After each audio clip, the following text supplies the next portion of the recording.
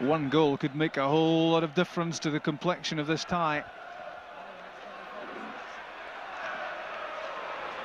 Good run from McCann. Here comes Kenny Miller, laid off to Jorg Albertz. Albertz has scored!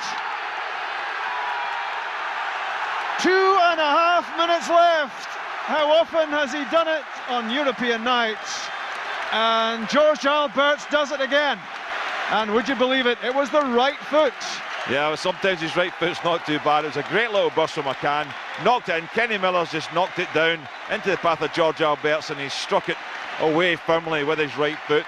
Keeper just got a hand to it, push it in the side of the net, but uh, that's a good strike from there. Keep a little bit unsighted, I think, but what a vital goal that is to put them 1 0 in front.